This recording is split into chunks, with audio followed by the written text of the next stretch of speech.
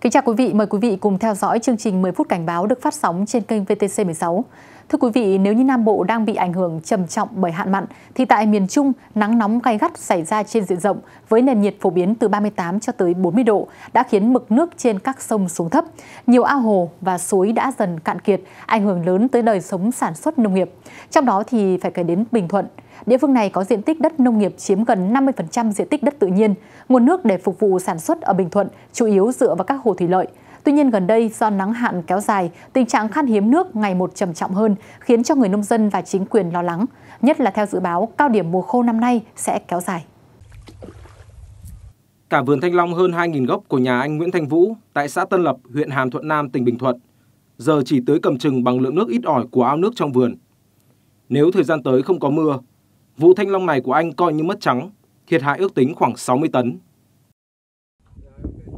Hồ Tà Mon này nó ít nước quá, nó thiếu.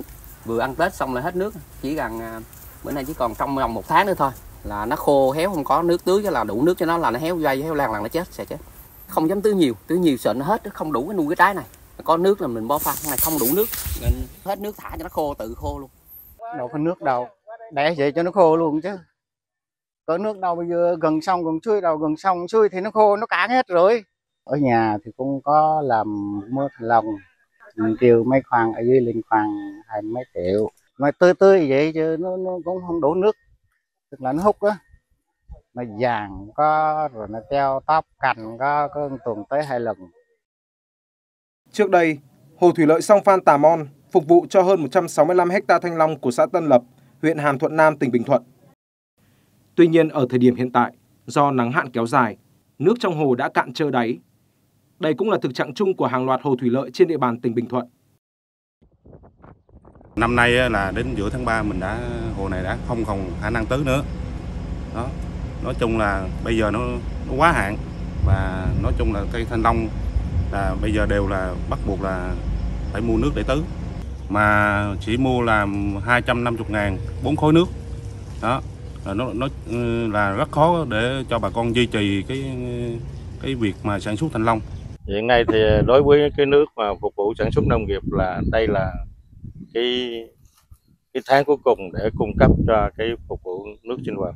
Còn giữ, trữ lại để là cung cấp cái nước thô cho các nhà máy sản, sinh hoạt. Nếu tính như vậy là về cái nước phục vụ sản xuất nông nghiệp là thiếu rất trầm trọng còn nước sinh hoạt thì vẫn cố gắng đảm bảo đến ờ, là 30 tháng 6 Tỉnh Bình Thuận có diện tích đất nông nghiệp chiếm gần 357.000 ha.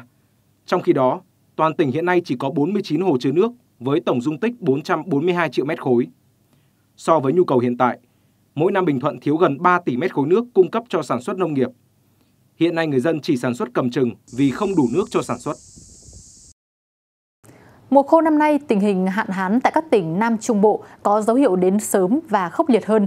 Không chỉ Bình Thuận mà tỉnh giáp xanh của Bình Thuận là Ninh Thuận cũng đang trong tình trạng khô hạn nghiêm trọng. Những khu vực mà hệ thống thủy lợi Tân Mỹ và vùng truyền nước từ sông Cái thì còn chưa phủ kín.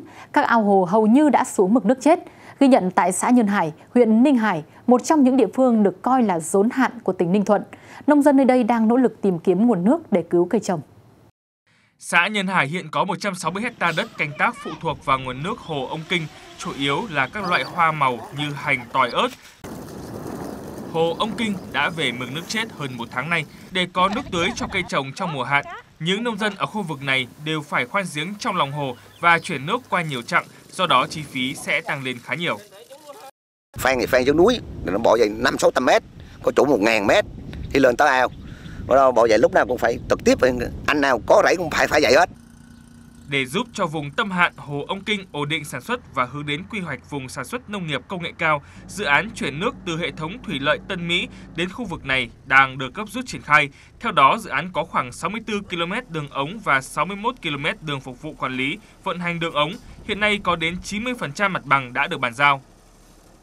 Đẩy nhanh công tác ờ, đền bù giải phóng mặt bằng À, của dự án à, đồng bộ à, trên các huyện Ninh Sơn, Thuận Bắc, Bắc Ái, Ninh Hải làm sao đạt được cái mục tiêu là có chậm nhất là cũng phải đúng theo cái cái tiến độ được phê duyệt như là tháng 3 năm 2025. Với tinh thần vượt khó, người dân khu vực Hồ Ông Kinh đã chủ động tìm nguồn nước, không bỏ cuộc trước khó khăn. Bên cạnh đó, với dự án chuyển nước từ hệ thống thủy lợi Tân Mỹ đang gấp rút triển khai đã tạo thêm động lực giúp bà con nông dân nơi đây bám vườn, bám rẫy, nỗ lực sản xuất vượt qua khó khăn trong mùa nắng hạn năm nay. Dịch chuyển xuống phía Nam, tình trạng hạn hán thiếu nước đang là nỗi lo của rất nhiều nông dân tại Đồng Nai. Hơn 3 tháng đầu năm đến nay, nhiều địa phương trên địa bàn tỉnh này đã không có mưa. Ở những địa phương không có kênh mương thủy lợi thì nông dân không thể sản xuất, dẫn tới tình trạng là nhiều diện tích đất bị bỏ hoang, ghi nhận tại xã Gia Canh, huyện Định Quán, tỉnh Đồng Nai. Cánh đồng rộng lớn trơ trọi, ao nuôi cá cũng cạn khô không còn giọt nước. Ngay cả hệ thống cấp nước sinh hoạt của hơn 40 hộ dân tại ấp Chánh, xã Gia Canh, huyện Định Quán, Đồng Nai cũng bị hụt nước. Cái mùa này thì dân ở đây là khô khan hết, không có nước đâu. Nói thiệt luôn á, nói con bò, con bê đi ăn cũng không có nước uống chứ đừng nói là là gì, khó khăn lắm. Nhiều diện tích đất nông nghiệp bỏ hoang, những diện tích còn có thể trồng trọt cũng cho năng suất không đạt. Người dân không còn cách nào khác là phải khoan giếng sâu hơn và thức đêm canh nước. À, người nông dân là thiệt tha là coi như có một cái hệ thống cân mương thủy lợi à, giúp cho người nông dân thì à, có thể là càng ngày càng tăng à, diện tích à, tăng diện tích và tăng tăng năng suất cho người nông dân đem lại hiệu quả kinh tế cao hơn. Chỉ có phụ thuộc vào trong cái, cái mùa mưa. Đây hiện nay là khoảng 6 tháng mùa khô là người dân để đất trống không thể sản xuất được. Thì cũng mong các cấp chính quyền quan tâm về cái sản xuất nông nghiệp tại địa phương, à, làm các cái công trình thủy lợi để phục vụ sản xuất nông nghiệp. Để giải quyết vấn đề này, từ năm 2015, Ủy ban Nhân dân tỉnh Đồng Nai đã phê duyệt dự án Hồ chứa nước Cà Ròn. Thế nhưng đã 9 năm trôi qua, vì nhiều lý do mà dự án vẫn chưa thể hoàn thành. Người dân vẫn mòn mỏi đợi nước mỗi khi mùa khô hạn về. Khô hạn nghiêm trọng, cây trồng thiếu nước khiến tiến độ sản xuất nông nghiệp tại nhiều nơi bị trì hoãn. Không chỉ vậy, tình trạng sâu bệnh hại trên cây trồng cũng diễn biến phức tạp hơn, ảnh hưởng tới sự tăng trưởng phát triển của nhiều loại cây trồng. Phản ánh câu chuyện tại tỉnh Nghệ An. Từ sau Tết Nguyên đán đến nay, thời tiết thay đổi thất thường, có nhiều thời điểm nắng nóng xen kẽ những ngày mưa lạnh. Do đó, sâu bệnh hại xuất hiện với mật độ cao trên cây lúa như bệnh đạo ôn, sâu cuốn lá, chuột, ốc bươu vàng, với diện tích nhiễm bệnh lên tới hàng ngàn hecta cũng do là cái, cái thời tiết thì lo nhất là thứ nhất là sâu bột trị giống là cho sâu cuộn lạ cùng nhiều này. Phải bấm một là bấm thuốc ốc này hai là nước ngập rồi bấm bột trị này ba là bấm bỏ cồi để cho rề phát triển này. Thời tiết nắng nóng gay gắt thay đổi thất thường khiến cây trồng bị ảnh hưởng, sâu bệnh dễ tấn công. Nên ngoài sâu bệnh trên lúa còn xuất hiện mật độ cao bệnh sâu keo mùa thu trên cây ngô, bệnh vàng lá, thối rễ trên cây cam, khảm lá sắn, vàng lá, khô ngọn trên cây rau màu. Nặng quá thì cũng không thảo đọt, mà cây trái thì lâu tới. Nặng quá thì phải cho con nước, phải cho nước thường xuyên. Không còn nước thì chậm phát triển.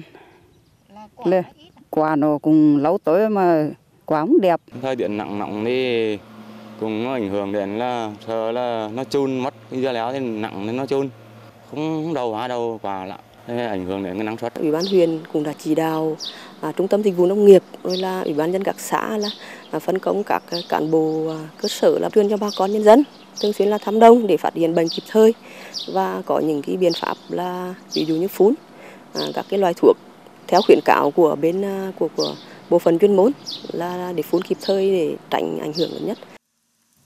Nắng hạn tiếp tục gay gắt, ngành nông nghiệp Nghệ An đã khuyến cáo người dân đặc biệt lưu ý mọi hoạt động tưới nước cho cây trồng đều phải thực hiện lúc nhiệt độ ngoài trời đã giảm, không tưới lúc đất còn nóng. Các địa phương nắng nóng căng thẳng cần điều tiết nước tưới hợp lý, tưới luân phiên tạo độ ẩm để đảm bảo cây trồng phát triển tốt, chống nắng hạn.